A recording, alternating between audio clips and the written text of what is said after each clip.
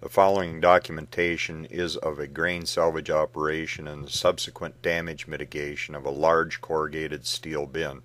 Heating grain, which formed a large burning core, mandated the emergency operation. In viewing this video, it is important to remember that the salvage crew has had over 150 combined years of experience working grain fires.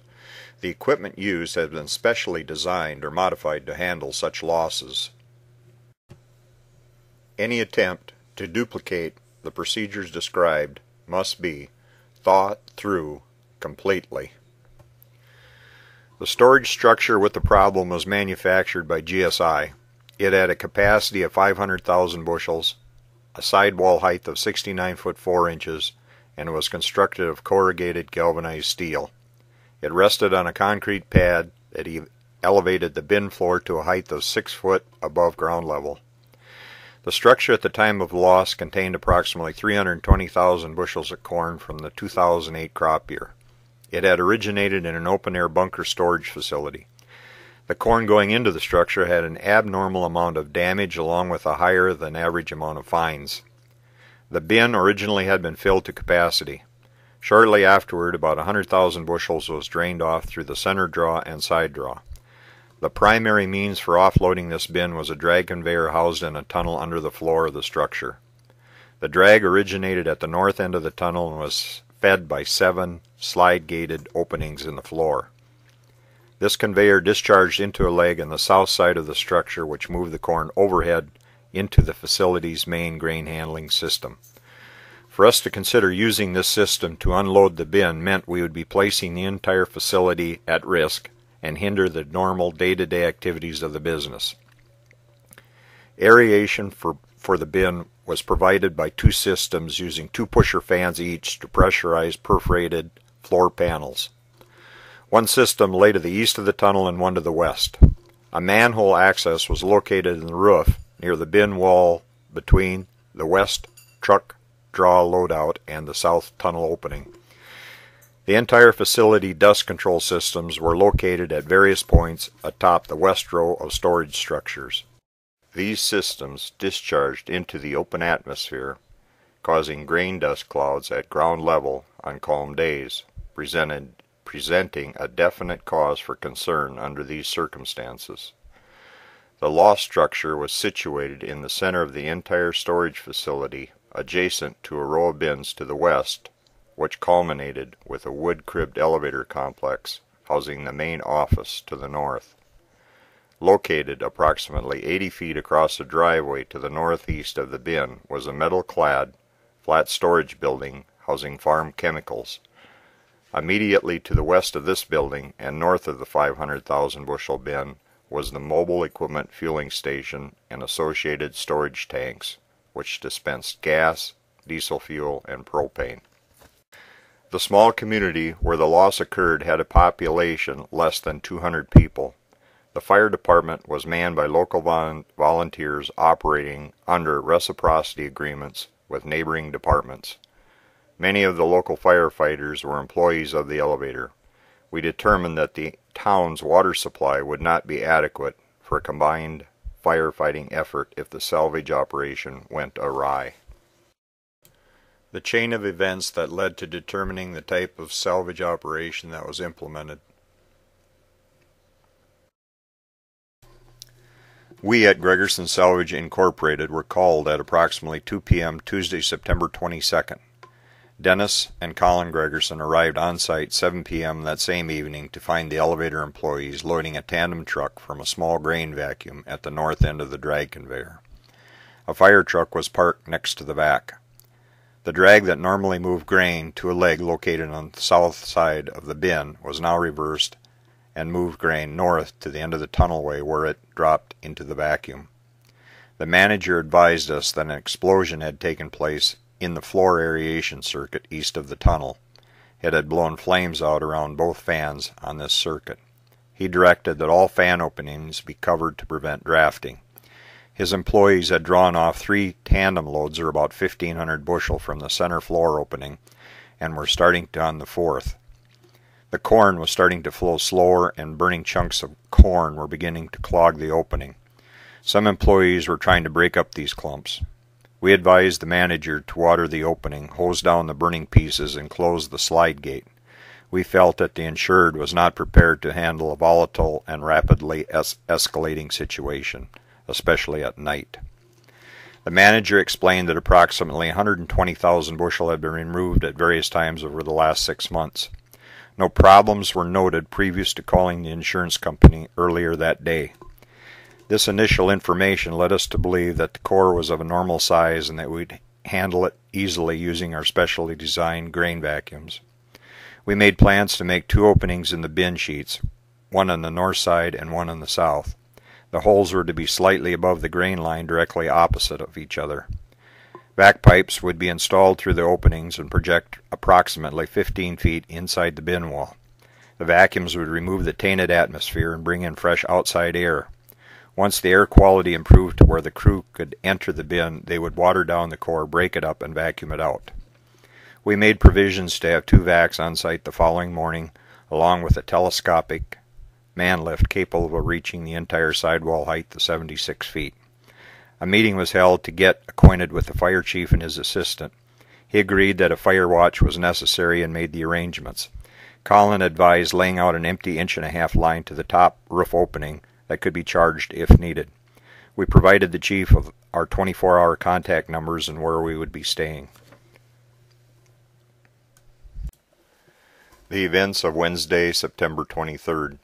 Colin procured air samples from the roof access to establish the quality of the atmosphere of the headspace prior to proceeding with the venting operation.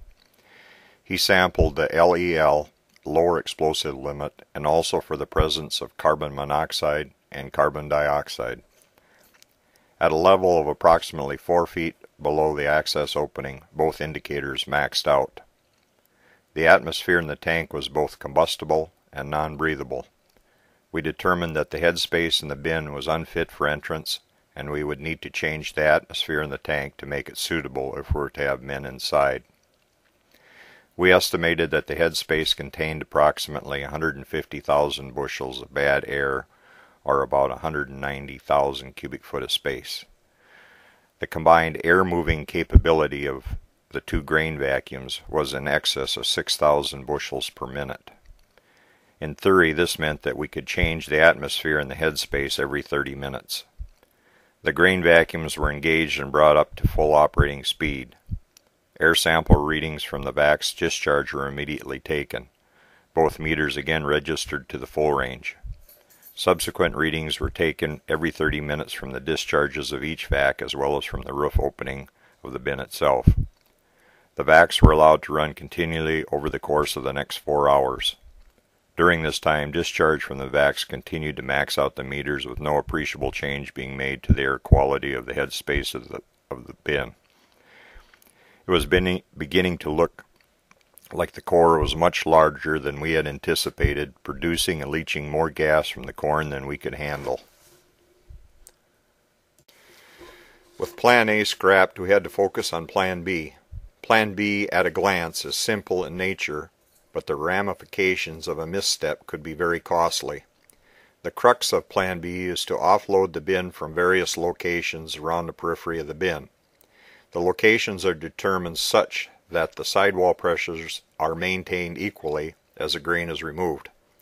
Correctly done, this will help to prevent the collapse or permanent distortion or egg shaping of the sidewalls.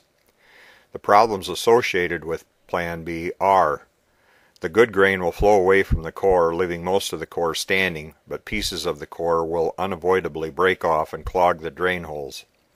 Some of these pieces can be as large as Greyhound buses and on fire. They will lodge in the inside of the bin, bin wall where they are inaccessible, inaccessible, burning, and drawing oxygen through the drain opening. The uncontrolled fire will quickly distort the bin wall sheets next to it. The head space of the bin will rapidly fill with smoke and an even higher concentration of combustible gases. At some point in the operation, fresh air will enter the structure and an explosion will inevitably occur. Another threat is the flowing corn is as the flowing corn is drawn from around the core, it exposes more of its hot surface to the air, igniting the dust or fines near it. If the grain is not kept moving away from the core, fire can rapidly spread across the surface of the grain, greatly increasing the magnitude of the problem. Also, the freestanding exposed core or column of grain can collapse, kicking up an immense plume of grain dust touching off a huge grain dust explosion, multiplied by the already flammable atmosphere. The taller the spires, the more dust created when they inadvertently collapse, and consequently the bigger the bang. Our experience has taught us that removing the contents of the bin is half the battle. If the pieces of burning core are not separated from the grain immediately, fires will again break out in the stockpiled grain, especially in brisk winds. To combat, to combat this huge problem, we designed and built various high-capacity screens to remove the burning core from flowing grain.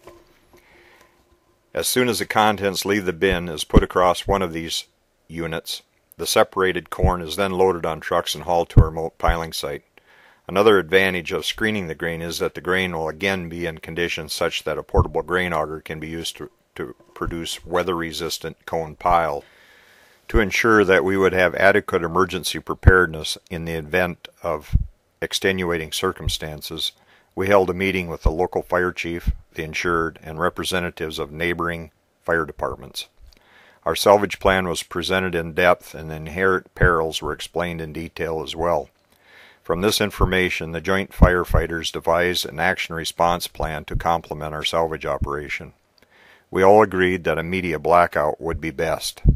No preparedness discussions were to take place over police, firefighter, or emergency radio frequencies. Landlines or cellular communications were to be used only. The events of Thursday, September 24th. Thursday morning we moved both grain vacuums south of the bin to a position we felt would be somewhat safe in the event of a collapse. Intake lines were run approximately 80 feet north to the nearest floor opening, which was the southernmost opening in the tunnelway.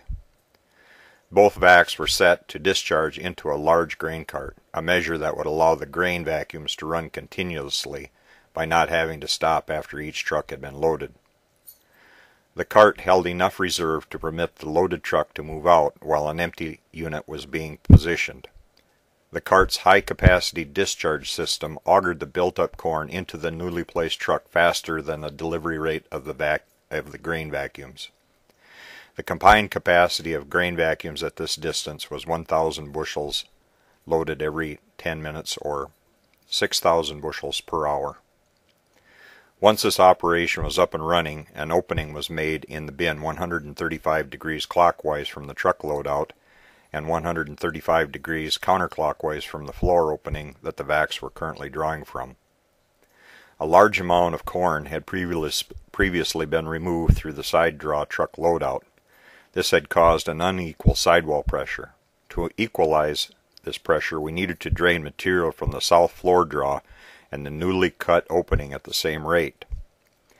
In order to measure the possible sidewall distortion produced in the improvised bin unload process, transit were, transits were positioned in four locations as equally spaced as possible around the bin. Their crosshairs were focused on prominent objects at the topmost locations of the bin wall. In this instance, the targets were the corners of the roof vents. Transit readings were taken frequently during the operation. These bins are so large that bin walls can move many feet before it's noticed by the naked eye. This degree of movement would be an indicator of a sudden and catastrophic structural failure.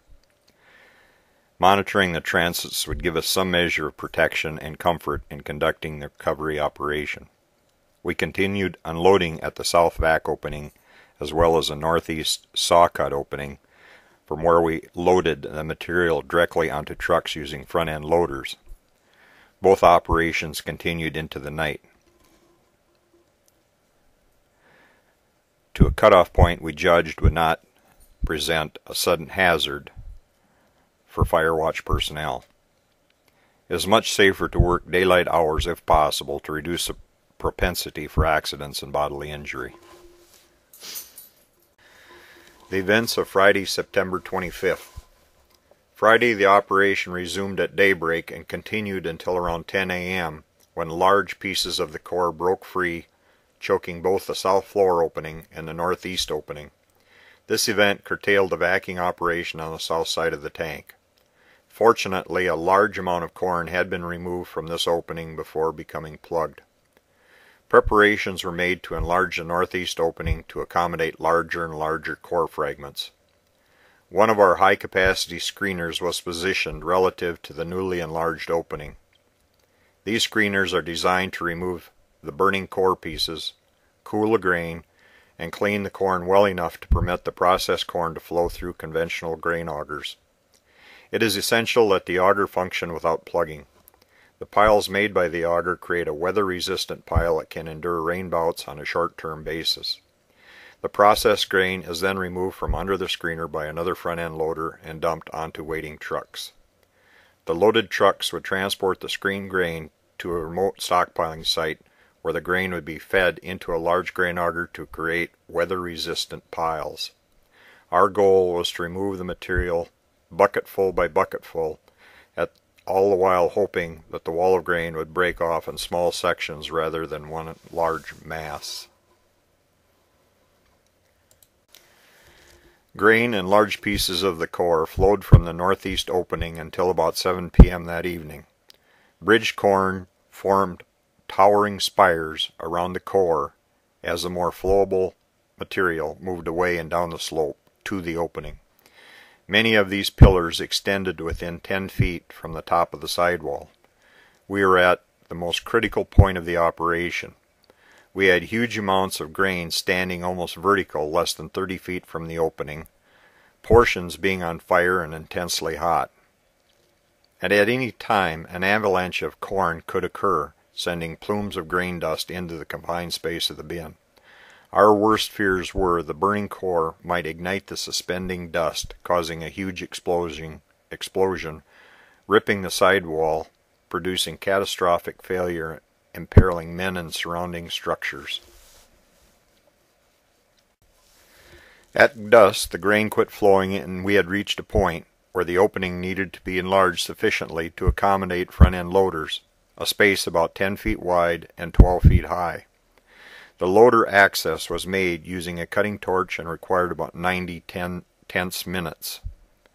It was obvious that the grain had temporarily bridged up high and, and could let go at any time. As the opening was being enlarged, darkness overcame us. Large floodlights were positioned and switched on. We removed the lower portion of the newly cut opening, and the grain began flowing once again. Everyone was tense and aware of what could happen as the operation resumed. For safety measures, the pace was slowed somewhat, and each action was made more deliberate. There is considerably less time to react at night, even for simple situations.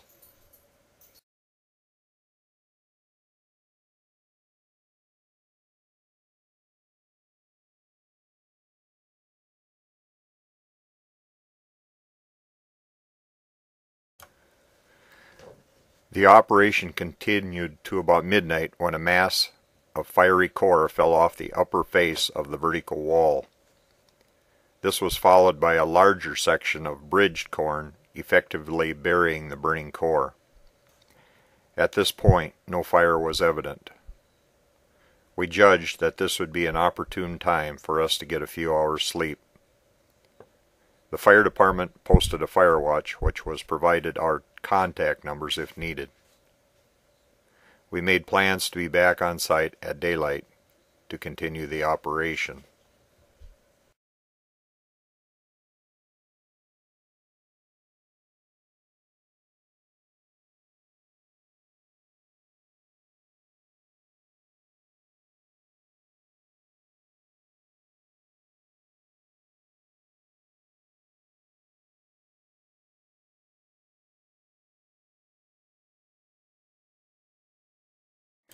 The events of Saturday, September 26th. The salvage operation had once again reached a critical phase. Grain had again quit flowing and could no longer be reached from the ground level. We have designed and built a mobile ramp that allows heavy equipment to drive up the incline and enter the bin. We position the ramp at the mouth of the opening in preparation for this new phase. The loader operators must now pay very close attention to several hazards besides just driving up the ramp, filling the bucket, and then safely backing down the incline. The dangers that were stated previously still existed, but the perils to the individual operators were increased tremendously. Columns of hard-packed corn extended to within 10 feet of the top of the sidewalls, encasing the hot core. A veritable landslide of grain could bury the entire loader, trapping the operator inside.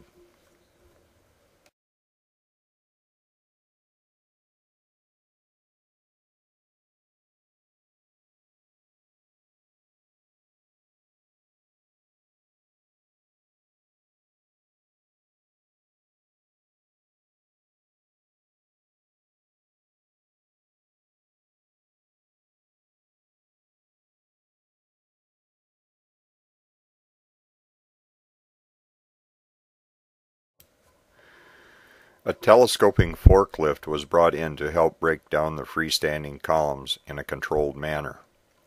The forklift operator concentrates his efforts on columns that would most likely cause the greatest problem if they were allowed to fall at random. Only small amounts were broken off at a time to prevent an avalanche from occurring. Plans had been made to quickly pull a forklift back down the incline if it were to have been trapped by falling grain.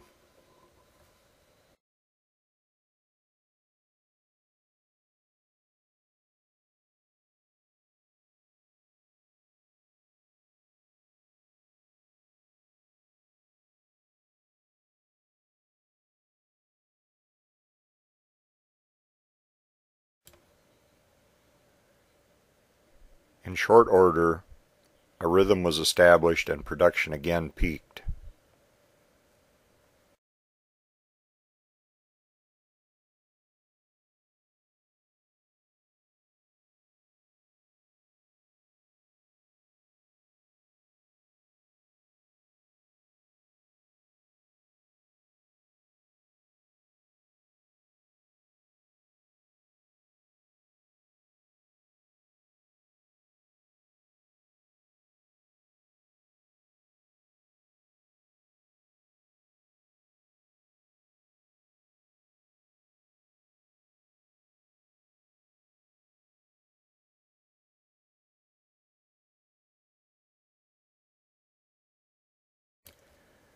After a time, as grain flowed from around the hot mass, portions of the core would be exposed. Smoke would fill the structure, clouding the operator's vision.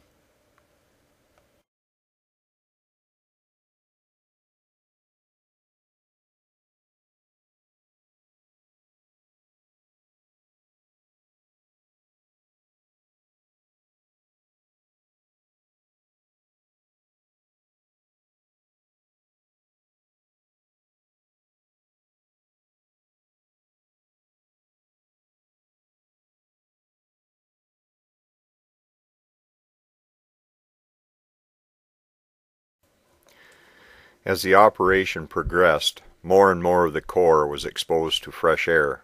Consequently, it would burst into flame, igniting the grain next to it. The real hazard was if a column of grain collapsed, causing a dust cloud, an explosion would ensue. This was an ongoing occurrence until the core was entirely removed.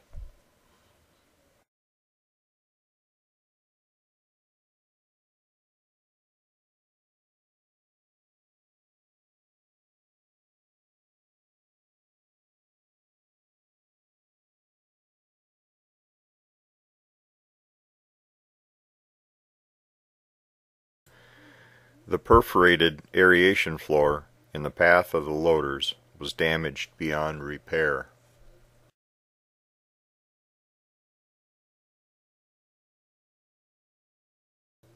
Segments of the floor were scooped up along with the corn and run across the screener.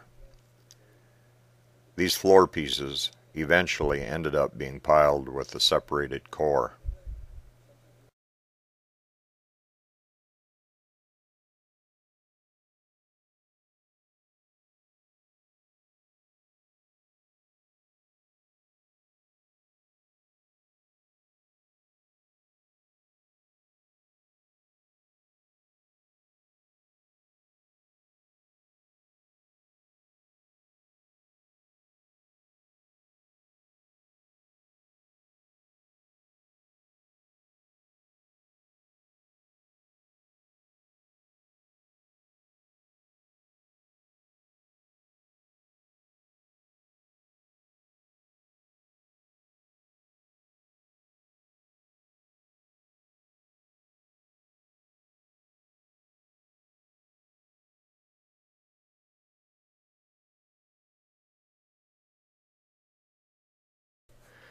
The loaders were having somewhat of a difficult time with the hardened core mass. The floor had become slippery with a covering of ground oily corn. The loaders would lose traction when they tried to break up the core into small enough pieces that would fit in the buckets. The telescopic forklift was again brought in to aid in the task.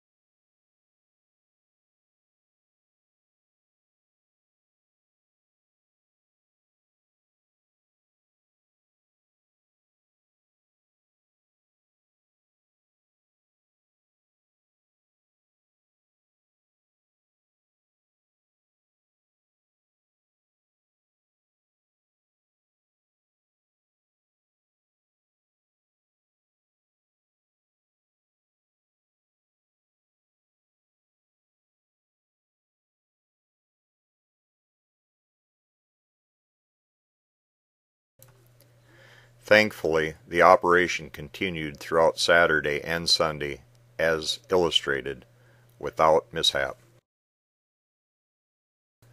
Monday, the steel perforated aeration floor was removed and the airway cleaned.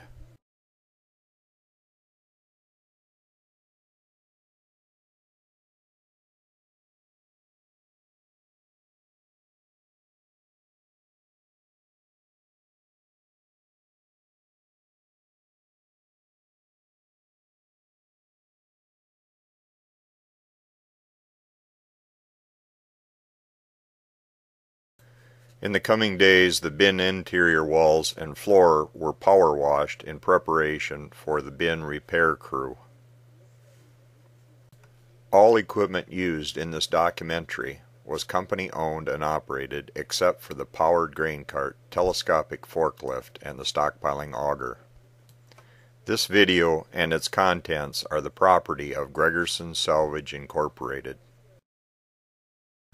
If you have any questions or comments, please call 1 605 947 4888 and ask to speak with Colin, Ryan, or Dennis.